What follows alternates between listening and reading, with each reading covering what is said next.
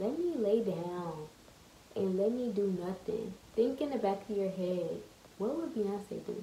You think Beyonce will lay in that bed all day?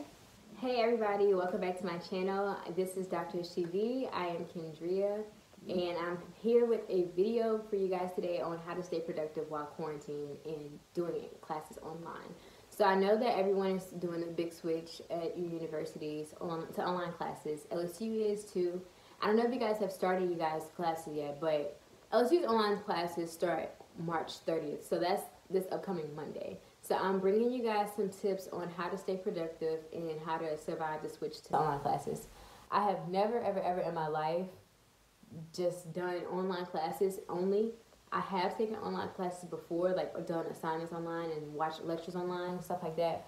But I've never taken exams for like chemistry and physics online. I don't know exactly how that's gonna go, but we'll see, we'll see, we'll see how it goes. Before we get into the video, hit that subscribe button and like and comment if you guys like the video. Don't forget to follow me on Instagram and Twitter.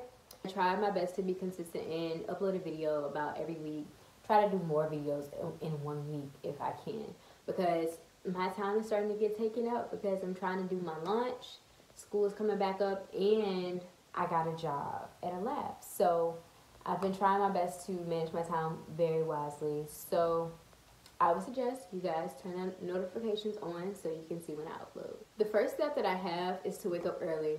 I know y'all saying like, girl, I don't even wake up early on a regular day and go to class. But it's important that you wake up early because if you're like me, you will lay in the bed all day. Number two would be to create a routine. Whenever I do not have a routine, I just won't do anything like because I'll have so much in my brain to do. It'll be everywhere that I just won't make take the initiative to actually do something. So I suggest that you sit down and you create a routine. Just write down a couple things that you have to do for the day in order to get started.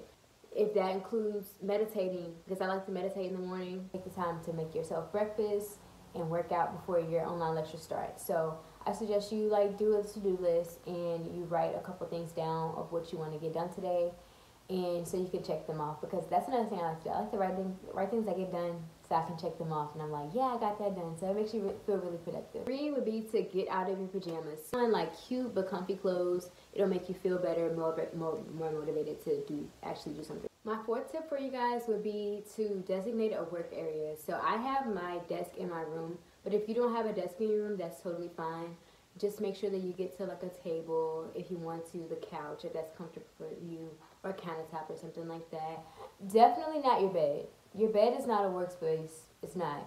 It's not a work area. It's meant for you to lay down and go to sleep in. So if you lay down in the bed, you're eventually gonna get lazy and you're gonna just slump down in bed and take a nap. What I would suggest for this work area is clean your blinds, like in curtains, because it just brings in direct sunlight. Without direct sunlight in your room, it feels really gloomy. So just like go ahead and take the time out to open your blinds.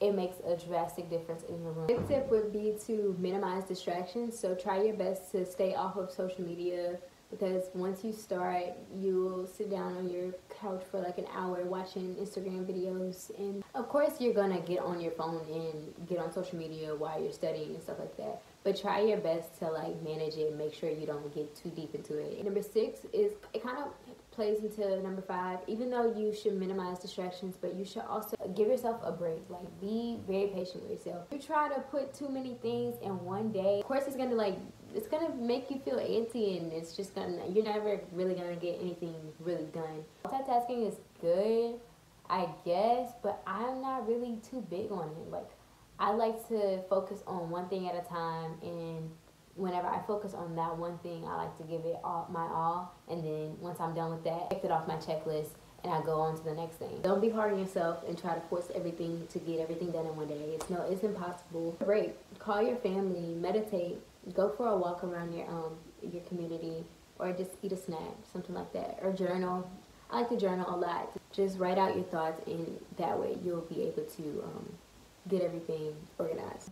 After you've done all that, it's time to take care of yourself. The time out to eat, do your skincare routine, take a nice bubble bath, take the time out to read articles, watch YouTube videos on things that you're interested in, not just about school all the time. You can watch Netflix. I know that like I'm talking about productivity in this video and you're like, girl, how can you be productive with Netflix?